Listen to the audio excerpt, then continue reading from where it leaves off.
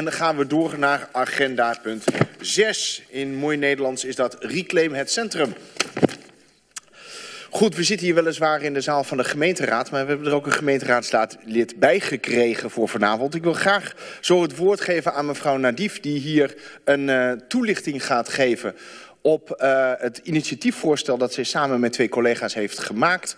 Dat gaat over stadsdeel Centrum. En in plaats van dat wij ergens aan het eind van de bestuurlijke of de beleidsmatige boom slingeren... en dat we aan het eind nog eens iets mogen vinden... worden we nu al in een vroegtijdig stadium meegenomen. Nog voordat de heren en dames van de gemeenteraad daarover gaan spreken. Eén moment wat uh, echt uh, dit initiatiefvoorstel echt getriggerd heeft om gewoon van oké, we moeten hier echt wat uh, mee aan de slag. was een artikel in Parool en dat ging over de nasleep van de nou ja, verschrikkelijke gebeurtenissen rondom een schietpartij in Centrum, waarbij helaas een van onze bewoners daaraan overleden is. En de reacties van de bewoners was heel erg duidelijk. We zien onszelf niet meer terug in het centrum.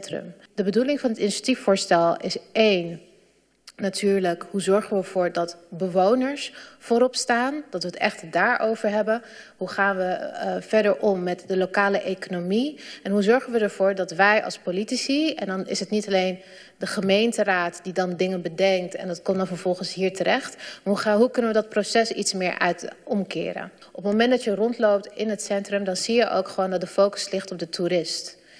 En niet zozeer op de Amsterdammer of op de bewoners. En dat, ligt heel erg, dat zie je heel erg in het straatbeeld. Wat ik vind van Amsterdam, en dat geldt niet alleen voor het centrum... maar ook voor andere stadsdelen... is dat er heel veel bewonersorganisaties zijn. En dat er heel veel mensen zijn die wel degelijk georganiseerd zijn. Maar ik vind dat wij als gemeente Amsterdam daarin kunnen ondersteunen. Dat we dat kunnen versterken. Dat we ook kunnen kijken hoe we ondernemers en bewoners... meer met elkaar in contact kunnen laten komen. Om ook gewoon goed op de hoogte te zijn... wat zijn eigenlijk de behoeftes van deze bewoners en van de Amsterdammers. We hebben in de en in het centrum eigenlijk te maken met een soort van hyperkapitalisme met een klein groepje mensen, superhoge winsten, uh, vaak, uh, uh, vaak ook grondbezitters of huizenbezitters.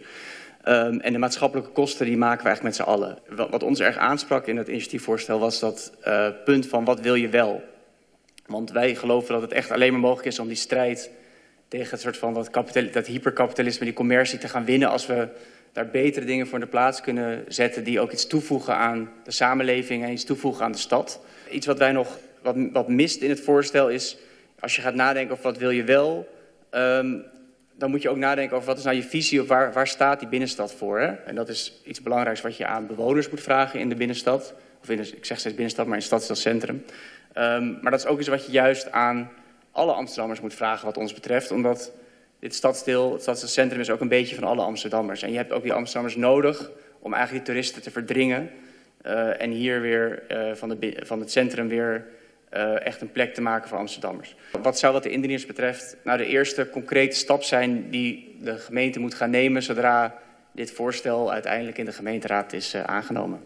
Wat als eerste het liefst allemaal. Maar dat kan niet. Uh, wat ik wel heel erg interessant vind en iets wat, wat ik denk dat heel erg makkelijk is en snel te realiseren is, is afspraken maken met ankerinstituties. Dus als we bijvoorbeeld kijken naar de UvA, het Amsterdam Museum en andere grote uh, ankerinstituties in het centrum, daar is wel makkelijk afspraken te maken over bijvoorbeeld lokaal inkopen, eerlijk werkgeverschap en al dat soort zaken. Omdat je dan ook grote instituten die we in het centrum hebben, die we enorm waarderen en een grote toegevoegde waarde is voor het centrum. Tegelijkertijd ook een maatschappelijke verantwoordelijkheid meegeeft. En daarbij ook een voorbeeld meegeeft voor andere ondernemers. Om te kijken van hoe kun je op een manier ondernemen wat ook waarde toevoegt aan, uh, aan de buurt en aan de stad. Ik denk dat er twee sterke geluiden zijn. Eén is dat um, we mensen met een kleine portemonnee niet echt cateren hier. Um, ja, u heeft het zelf ook al benoemd en daar hebben we het ook wel vaak over. Het is misschien, als je kijkt naar andere stadsdelen, niet de grootste doelgroep. Maar het is wel een doelgroep die mee moet uh, kunnen draaien. En wat je ook ziet, en dat merk ik wel in de gesprekken... is dat heel veel mensen met een kleine portemonnee...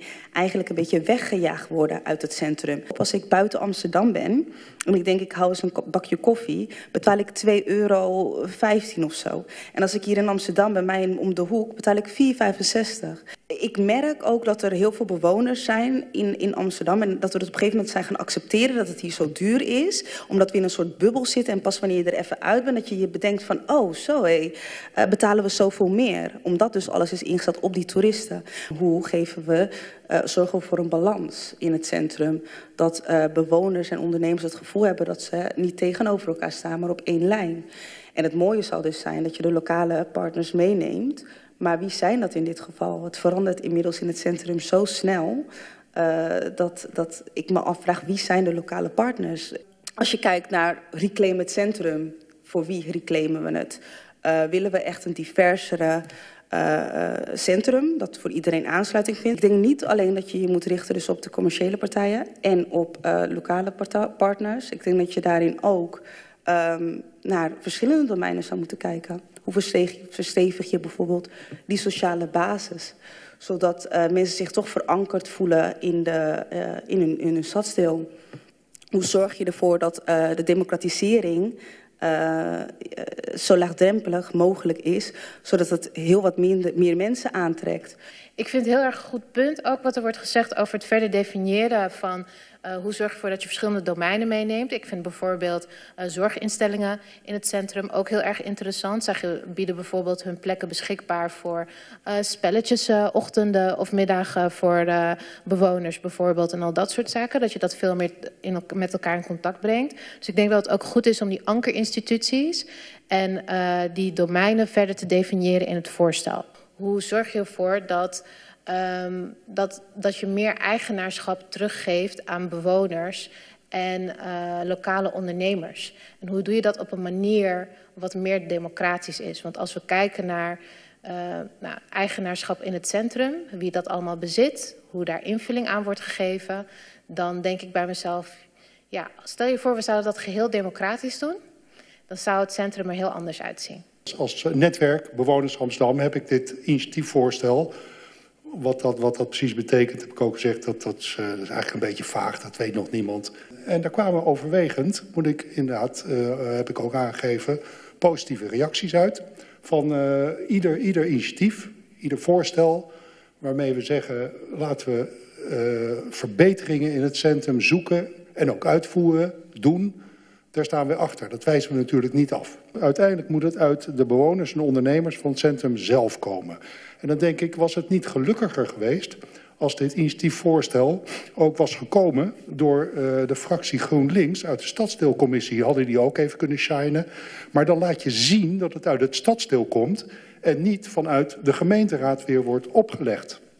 Wij hebben toen het ingediend bij de gemeenteraad en direct gevraagd uh, aan de fractie van GroenLinks uh, Centrum om te vragen van zorg ervoor dat het hier geattendeerd wordt.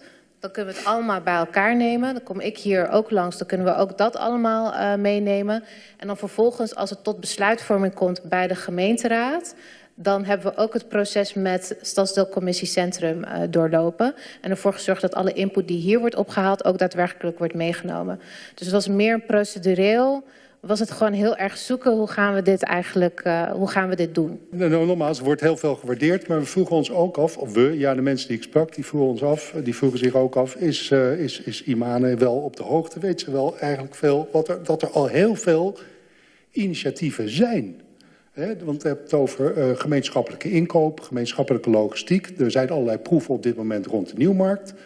Uh, ik ben zelf woonachtig in de plantage. Plantage buurt heb je netwerk plantage. Die zijn ook met duurzaamheid en, en vuilophaal gezamenlijk bezig. Uh, de, de portefeuillehouder maakt al een opmerking over taboe op de Zeedijk 44. Dat is ook een bewonersinitiatief. Uh, dus ja, wat, wat, wat wordt er anders uh, met deze initiatieven? Juist het feit dat er zoveel ondernemers en bewonersorganisaties zijn... en mensen die actieve dingen doen... Uh, dat is juist zo mooi. Maar dat willen we wel meer op de voorgrond stellen. En we willen ook voor zorgen dat we ondernemers ook daarin verder ondersteunen. Want er zijn inderdaad ondernemers die dat heel erg goed oppakken. Maar dat betekent niet voor iedereen. Het is niet voor iedereen even zichtbaar. En dan breng ik hem even terug naar de ervaring die we hadden in Amsterdam Zuidoost.